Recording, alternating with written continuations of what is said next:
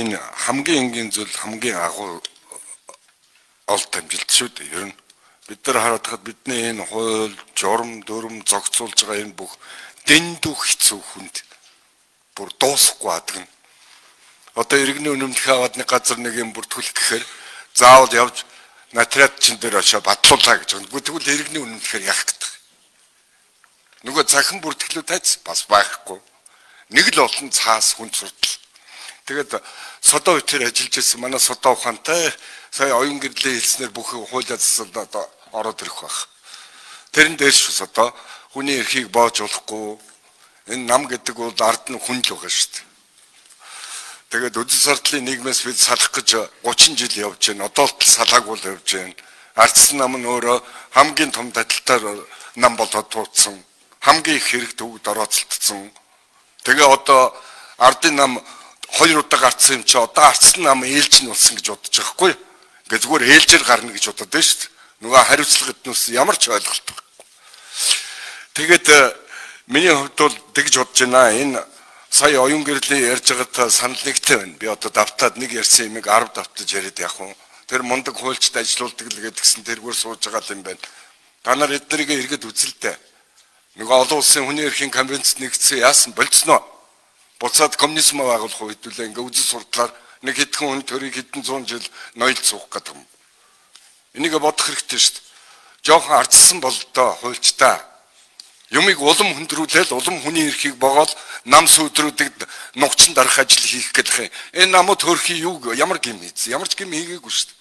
Харин ч дутуугийн нэрж энэ тэр ирэх болж байгаа намуудаа л шүмжилдэг байх зөв явуулах гэж. Тэгээд эднэрийг ад үзээ нугчин дарах хууль гаргадах шаардлагагүй шүү дээ. За дараагийн асуудал.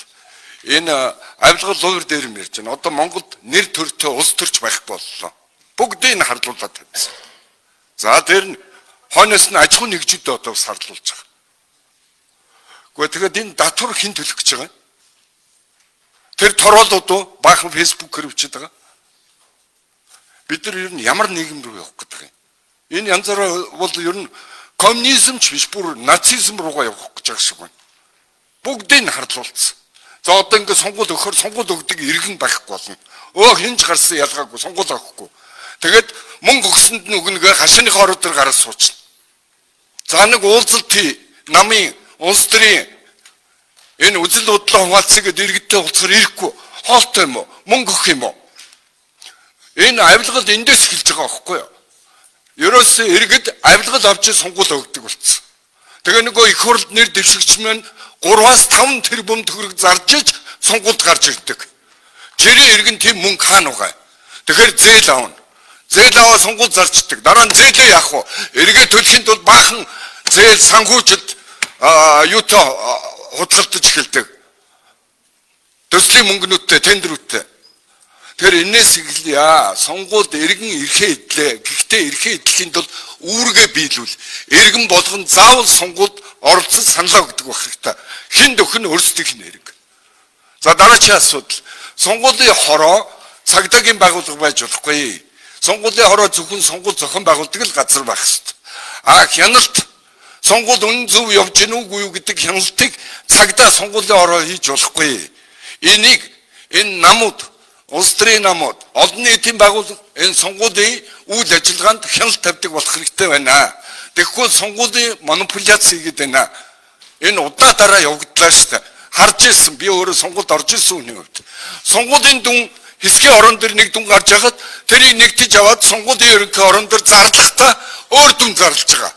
Бүр өөр програм дээр шивж байгаа ч шүү. За дараачийн энийг бид бас бодолцох хэрэгтэй байна. Энэ сонгуул дээр хариуцлага та нар энэ сонгуулийн үеийг өөрчилж хариуцлагыг нэмэгдүүлэх гэдэг нь шүү дээ. Тэгвэл энэ хяналтын багцыг сайжруулах хэрэгтэй байна. Энэ сонгуул дээр тэрнээс энийг сонгуулийн хороо өөрөө зохион байгуулад өөрөө хяналт тавьж болохгүй. За дээр нь энэ цагдаа нар хүчний байгууллагыг сонгуулийн дүүрэг торгоос бүр хол байлга бүр хөдөө гаргаад яагаад тэгэхээр сонгуулийн хэсгийн ороотуудыг цагдаагаар бүслүүлж хагаад хуурамч сонгуулийн дүнг зарлах гэж бэлдээд идэг юм билээ. Энэ удаа дараа явж исэн зүйл шүү нэг удаа биш.